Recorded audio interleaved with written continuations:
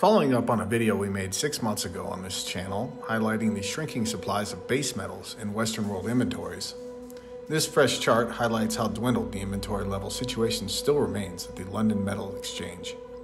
Perhaps this year's commodity price sell offs and given recent relative fiat US dollar strength over other fiat currencies over the last year, that's helped quiet this still ongoing constraint in terms of being in the headlines and the news. One only has to look back over the past dozen years or so to better understand how supply shortages in metals and in energy have happened of late. Going from the Chinese led 2000s commodity boom into the early 2010s QE1 and QE2 era, investment capital had not yet been swept away into various bubbles, such as the now collapsing tech sector bubble. A lack of capital investments and paltry values for base metals and energy over the past dozen years has mostly led us to this near no supply level quandary that we are still in. Later in this video, I'll further make a freshened case for how the world is understandably sleeping on the fact that there's also a building shortage, not merely in readily available, reasonably priced bullion products that are tiny, but eventually to even larger, full sized bullion bars 100 ounce gold bars, 400 ounce gold bars, and 1,000 ounce silver bars. But more on that in a few minutes. First, we're going to turn to fiat Federal Reserve policy which is still driving most of the market's short and medium term narratives. Apparently, mega financial conglomerate BlackRock is now signaling that the Fiat Federal Reserve is going to begin speaking to an eventual pivot in their interest rate hikings toward the end of this year, 2022. That's probably for the best.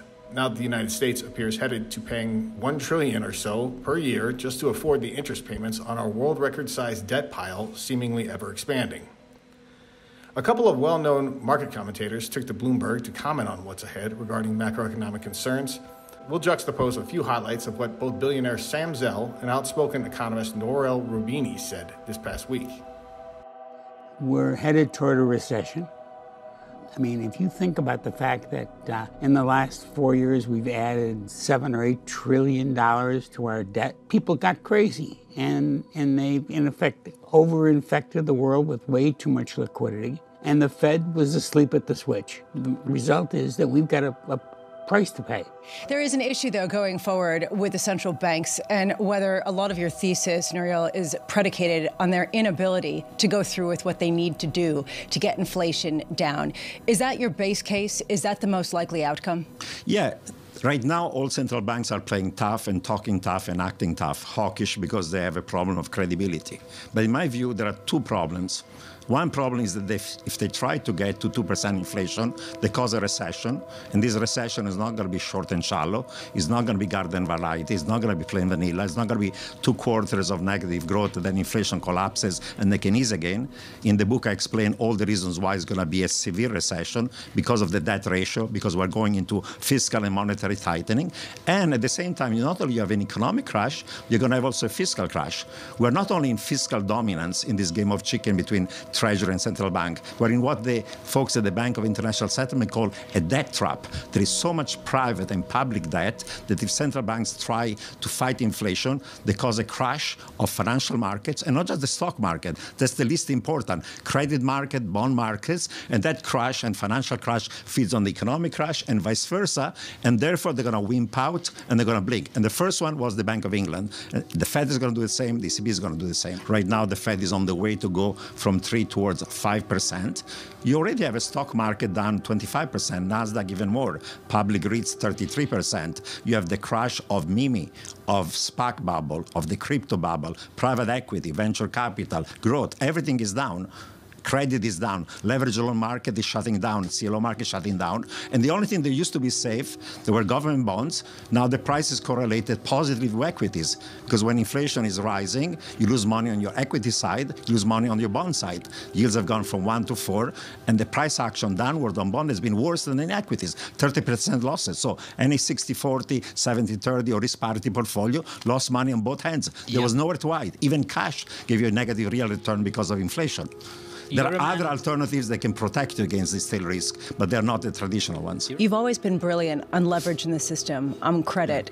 And we've heard from one fund manager after another that there is resilience in this corporate credit sector, even with the debt that they have, even with the low coupons that they're currently paying that will reset higher. Do you disagree? Do you think that people are overly sanguine about the upcoming credit cycle? They are. Right before the COVID crisis, the Fed was writing reports on financial stability, pointing out the leverage of the corporate sector. Of course, high yield and fallen angels. But then during COVID, these folks should have gone bust, but they were bailed out. We bought even high yield debt, you remember, commercial paper, and everybody under the sun. So the zombies were bailed out. And the excesses of having leverage loans, CLOs, cov-lite got even worse, and people got even more indebted. This time around, the party's over because the Fed for now, we'll have to raise rates. Those debt service ratios are going to become impossible, and you get the double whammy for those corporates. You get a P&L because income is going to fall because of the recession, and you get a debt problem with debt servicing ratio rising, and therefore there'll be a corporate debt crisis, one we avoided during the GFC and during the COVID crisis. Right. It's coming now. The CLO and leverage loan market are shutting down right now. It was one thing to borrow all that money when the interest rates were essentially zero or close to zero. They're not zero anymore, and they're probably going up some. Yeah, but the debt didn't go away. I mean, the debt that, that was created at zero is now at three. Uh, and probably by the end of the year, it's going to be four and a half. Is that going to constrain, do you think, Congress and its ability to borrow that money in the future? I mean, take a look at what happened in the UK. Yeah. I mean, when they said we're going to borrow a lot of money, it didn't work out so well. No. Are we going to have some of those constraints on fiscal spending here? I don't see how we can avoid it. In other words, I mean, you just you know, it, it's, you know, we're, we're dealing with a crisis in the fiat currency world. I mean, ever since Bretton Woods, the whole idea was create stability in the currency markets. And to a large extent, we've done that. Um, and then COVID came, and we lost all of our discipline.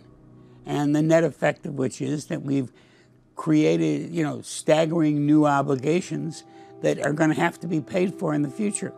Uh, part of it is being paid for with very significant inflation. For the first time since 1981, we're dealing with double digit inflation. And it's extraordinarily deleterious. Well, there were many insolvent agents in the economy because uh, private and public debt as a share of GDP has gone from 200% to 350 globally between 2000 and today. In advanced economies, more like 420 and rising. In the US, is now higher than after the Great Depression and after World War II, and we're not out of a Great Depression or a major war.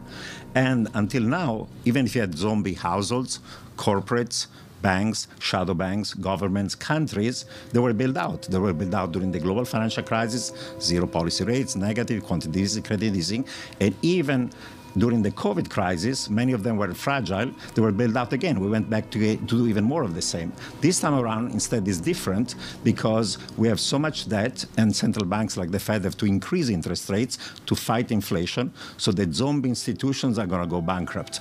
That's why not only we're going to have inflation and stagflation, but we'll have a stagflationary debt crisis. In the 70s, we had negative supply shock, 73, 79, but we had very low debt ratios. So we didn't have a debt crisis in advanced economies. We had one in Latin America. Argentina, Mexico, Brazil borrowed too much in the 70s. When Volcker jacked up interest rates to 20%, they went bankrupt. Today, we have the worst of the 70s with a massive amount of stagflationary negative supply shock. So we get stagflationary debt crisis. So, what is the pain level that we're going to experience in order to get inflation under control? The Fed has said there's going to be pain. Yep. What's it going to look like? What's it going to look like in unemployment? What's it going to look like in business failings? What's it going to look like in defaults? Well, it, I think it, it starts with the fact that we've never really had uh, uh, a, a, significant recession without a without a liquidity crisis. And you know, the Fed's been buying eighty billion dollars worth of debt a month and now the Fed's going to stop buying 80 billion a month. Uh, maybe not the first month, but in a couple of months, uh, that starts to change the game. And, and it's a liquidity crisis that ultimately uh, forces a, a, a, difference in behavior. Again, go back to the UK, we saw it with the pensions and sure. derivatives they had for some long term obligations. Uh, it often comes up where you least expect it. Uh, long term capital management, for example. Yeah. Where would you be looking right now if you were the Fed to try to find the crack points in the financial system? Well, I'm, I'm continuing to be worried about uh, just overexpansion. You know, the fact that there's ultimately, you know, uh, unlimited demand for U.S. debt. Uh, I don't believe that. Uh, in the same manner, uh, you know, when I when I look at what's going on out there, um, I'm I'm very worried about uh, the reserve currency and uh, and the privilege that gives the United States and the flexibility it gives the United States. And if we lose that stature, and we've seen stuff where you know Russia and China are trading in, in either rubles or yuan, or Saudi Arabia is talking about selling oil for yuan. Uh, if, if we lose control of the, of the reserve currency status, you're talking about a, a significant hit to our standard of living. I mean, to some extent, 10% inflation is the first step toward deteriorating our standard of living. But it's really the ability to, to issue debt, the ability, to, you know, to, to be able to generate demand for our product because we are the reserve currency, it gives us an enormous advantage over the rest of the world. Talked to Ray Dalio recently and asked him about the strength of the dollar. He said it's not the dollar so good, it's just all the other fiat currencies that, are that that's much terrible. worse. That's right. So how, what kind of jeopardy does that put the dollar in if somebody actually figures out a way to do it a little better? Oh, I think that I think the dollar is in is in great jeopardy, and uh, and that's what I've been worried about, frankly, more than anything else. And uh, we need to we need to we need discipline, and uh, and it starts in in Washington D.C uh, where there has been very little. I think you want to go into gold and precious metal. Again, gold has not done very well because you had tight monetary policy, strong dollar. But if central banks are going to blink and wimp out, gold is going to rise in value. Gold is going to rise in value also because the enemies of the U.S. are subject to sanctions. China now is worried. They have a trillion dollar of reserves in dollar. They have to move to other things. If it's euro and yen, they can be seized. The only thing that cannot be seized is gold. Of course, not in the vault in New York or London, but in Beijing or in Moscow and on. Hello there, on behalf of SDBullion.com, this is James Anderson with a quick SD Bullion market update. Before we go further, please smash the like button so other sound money stackers can also see this content. And be sure to subscribe to our SD Bullion channel so you can get our latest market coverages and also a chance at winning incredible bullion giveaways like this one. Get ready for SD Bullion's Monster Box sweepstakes that includes 500 Silver Eagles. You could be the next lucky recipient of a phone call like this. This is Dr. Tyler Wall, CEO of SD Bullion. Well, I'm calling you to let you know that you won the SD Bullion giveaway of a Monster Box of Silver Eagles. So click the link below for your chance to win. Click the link below to enter our new 500 ounce American Silver Eagle coin Type 2 giveaway contest and good luck to all of you who take part. The fiat Fed note spot prices for silver and gold traded sideways, finishing slightly down for the week. The silver spot price closes at around 1930 an ounce ask. Gold spot price closes around 1650 an ounce ask. And the gold silver ratio stayed flat at 85.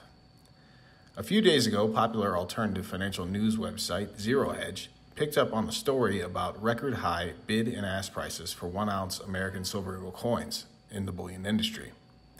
SD Bullion founder and CEO Tyler Wall had the following comments regarding this ongoing situation.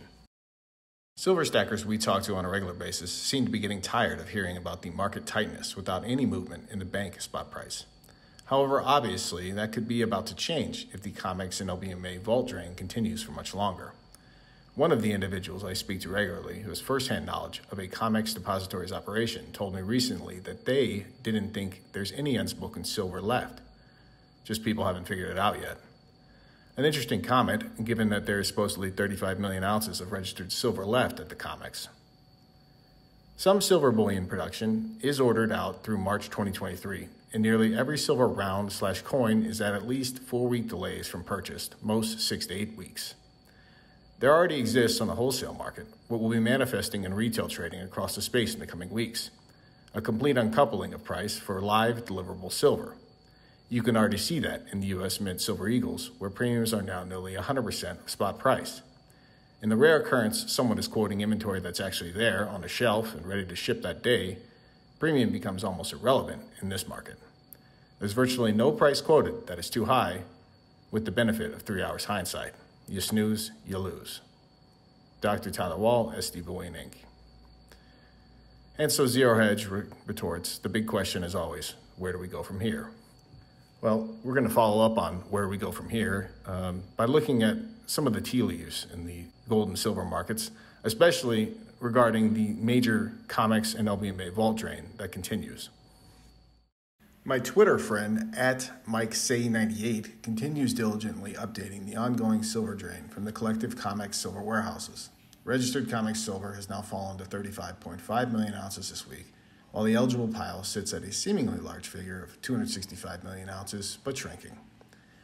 Notice I said seemingly in regards to the eligible, not warranted, or yet made deliverable larger pile that makes up the supposed 301 million ounces that fractionally backs the leveraged COMEX derivative casino. You see, fellow industry colleague Ronan Manly of Singapore's BullionStar recently pointed out this interesting tidbit of information published on both COMEX's CME Group website and the supposed regulator agency's website, the CFTC. Apparently, in February 2021, aside from tamping down interest in silver by jacking up margin requirements, the CME Group was also busy studying at the time how much of the then eligible silver pile, around 240 million ounces at the time, could or would be deliverable if push came to shove and the owners of those ounces felt it worth their while in doing so.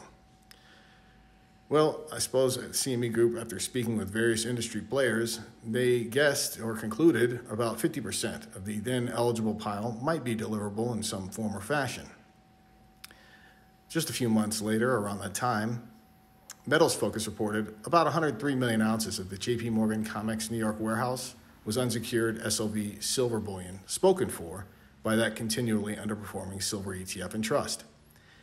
So if we simply extrapolate those figures to today, the combined registered and eligible piles of perhaps deliverable silver, if the owners were moved to sell and deliver it, it's about 170 million ounces total at the moment.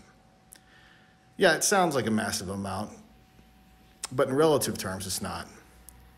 The US Mint, for instance, has to date sold over 617 million ounces of one ounce American Silver Eagle bullion coins, the same ones that are being bid at record high prices. You can be confident that high 90 percentile of which those are still in the United States and they're owned by long-term bullion savers.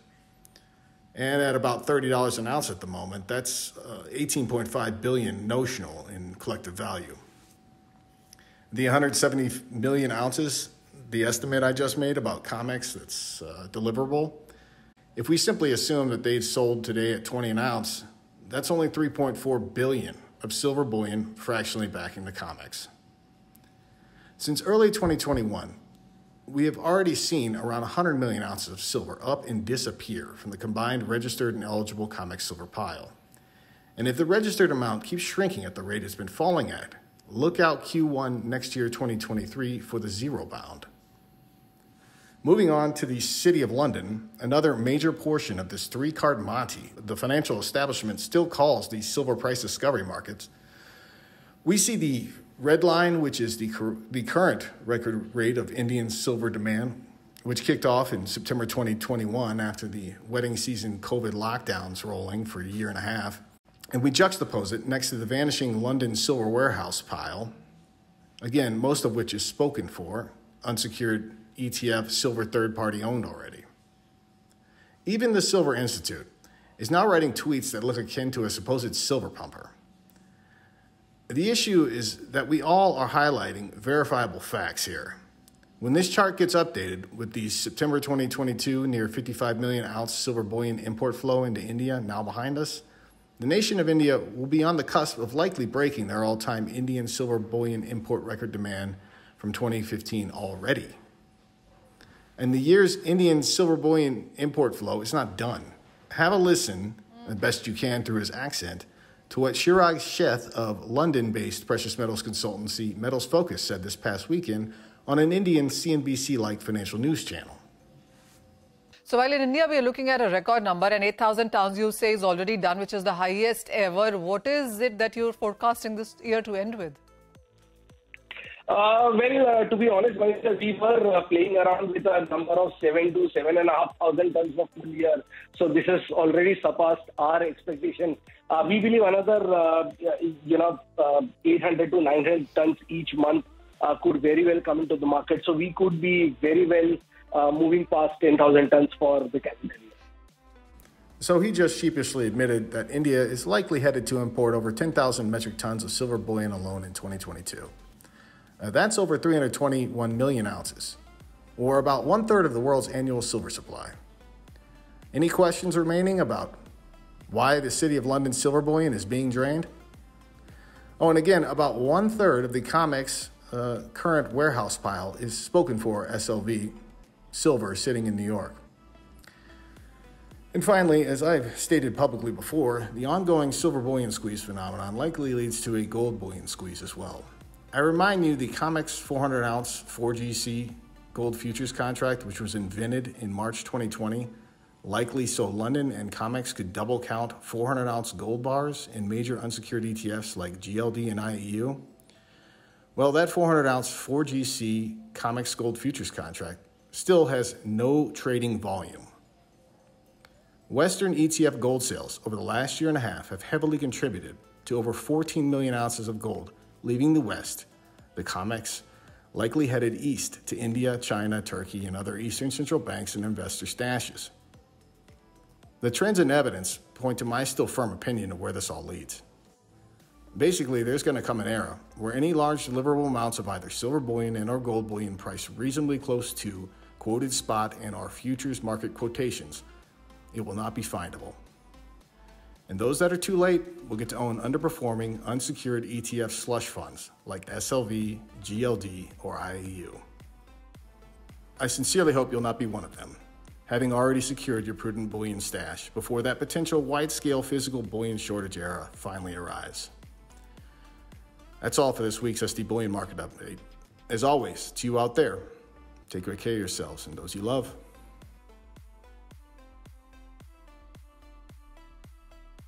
If you enjoyed this content, be sure to give our video a thumbs up. To keep getting bullion related news and industry insights, be sure to subscribe to our channel. Finally, hit that alert button so you know when we publish fresh content.